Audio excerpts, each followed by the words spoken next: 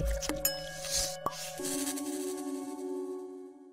السلام عليكم جميعا. يشكل الاعتناء بالصحة وتفتيح بشرة الوجه من المواضيع التجميلية التي تلقى اهتماما كبيرا من جانب المرأة العربية والتي دائما تهتم بالحفاظ على نضارة وإشراق بشرتها. ولذلك جمعنا لكم فيما يلي أسرع وأسهل خلطات للبشرة تعتمد على مكونات طبيعية أثبتت فعاليتها في هذا المجال. ولكن قبل أن نبدأ ادعمونا بإعجاب لاستمرار هذا النوع من الفيديوهات.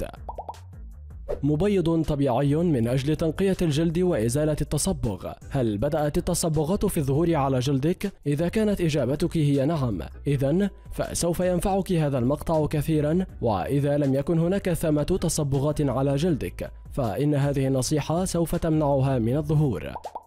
إن لظهور التصبغات على الجلد العديد من الأسباب ومن الصعب تجنب ظهورها بنسبة 100% ولذلك اتركي تعليقا واذكري فيه في أي منطقة من جسدك تظهر هذه التصبغات. أما الخبر الجيد فهو أنه حاليا هناك الكثير من المواد التي يمكنك استخدامها من أجل معالجة التصبغات ودون اللجوء إلى إنفاق الكثير من المال على المعالجات المكلفة.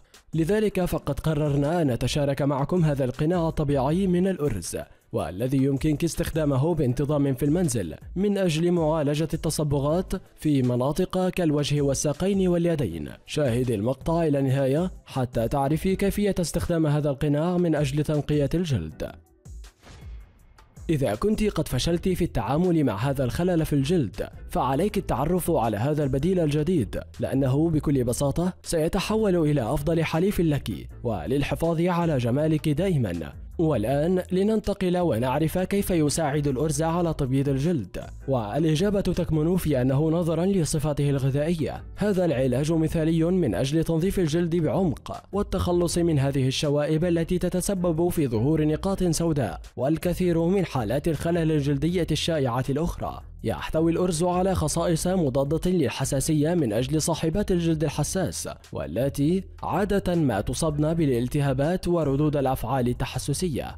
فهنا يعمل الأرز كمرطب طبيعي مما يجعله مساعدا بشكل كبير لإزالة التصبغات في الجلد والتي تتسبب فيها الشمس والعوامل البيئية الأخرى. هذا بالإضافة إلى أن الأرز غني بالزنك وأيضا فيتامين بي 3 وهو ما يجعله له أثر مبيض دون أي آثار جانبية كما يعمل كمنشط طبيعي لمكافحة الترهل والظهور المبكر للتجاعيد. هل أنت جاهزة لتحضيره؟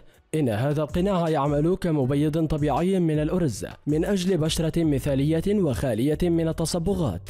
من السهل جدا تحضير هذا المبيض الطبيعي. وأفضل ما في الأمر هو أن المكونات المستخدمة لتحضيره عادة ما تكون متوفرة. إذا أردت الحصول على بشرة أكثر نقاء وشبابا فلا تفوتي الوصفة التالية.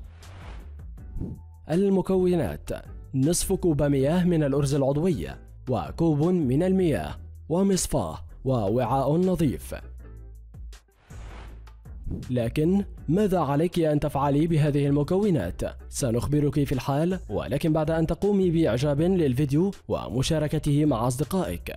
ولنعد مرة أخرى. ماذا ستفعلي بهذه المكونات؟ في وعاء كبير ونظيف قومي بمزج المياه والأرز واتركيهما طوال الليل. في الصباح التالي قومي باستخدام المصفاة من أجل فصل السائل عن حبوب الأرز والاحتفاظ به. أما الخيار الآخر فهو غلي المياه الممزوجة بالأرز ثم تصفية السائل من أجل الحصول على مستحضر مماثل لما سبق.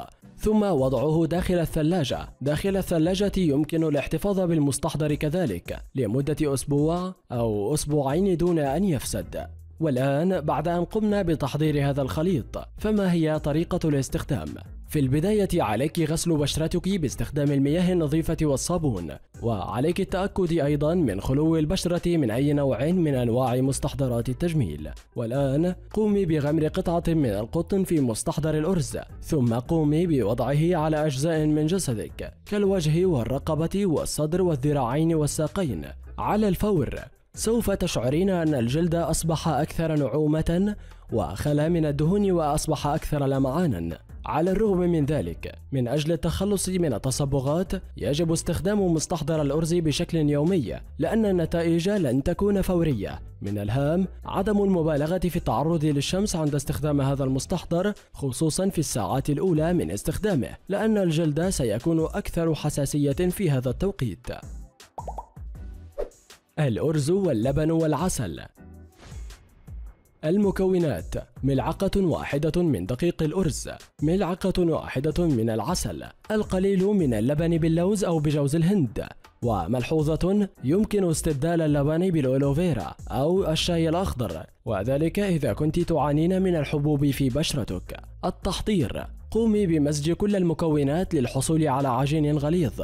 إذا وضعت حليبا أكثر من اللازم يمكنك إضافة القليل من دقيق الأرز. والآن عليك استخدامه على وجهك بالكامل بحيث تكون هناك طبقة سميكة منه على بشرتك. وذلك من أجل أن تغطيها بالكامل. اترك المزيج على وجهك من 15 إلى 30 دقيقة ثم قومي بغسل وجهك بمياه فاترة.